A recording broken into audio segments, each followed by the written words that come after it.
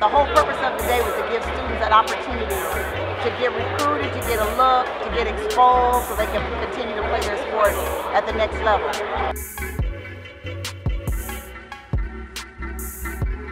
I'm actually looking for the best unsigned seniors at the time.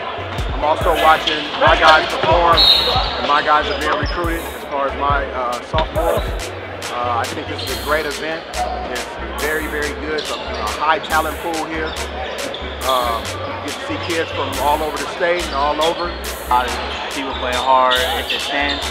It's, it's cool to get in front of the coaches for free too. It's rare to get a chance like this for free, but yeah, I'm having a good experience so far.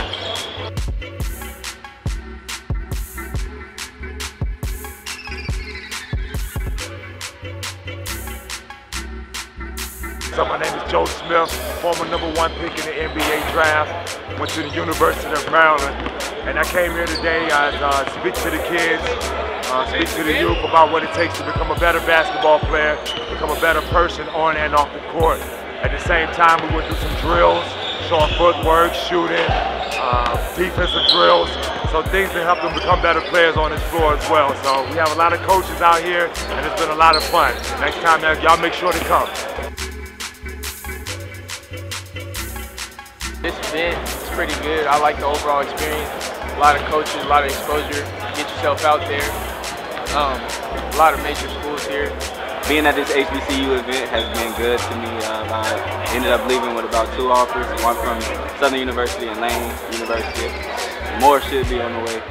Um, and the whole experience here has been good. Joe Smith coming in, telling everybody about his his experience and everything, getting to meet NBA players has been a, a good time as well. And the staff here for the event was amazing. Everyone showed everyone love.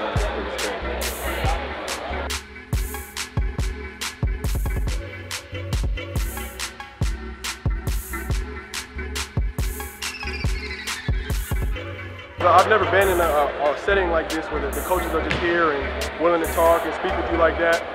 And uh, I got a, I got to talk to a bunch of coaches and stuff. And I walked in with not much, but I leave today on Sunday with a lot more than I came with. There's only one court, so really all the coaches are looking at you what you do. So it's really best bet to leave everything on the floor, and it's really up to you.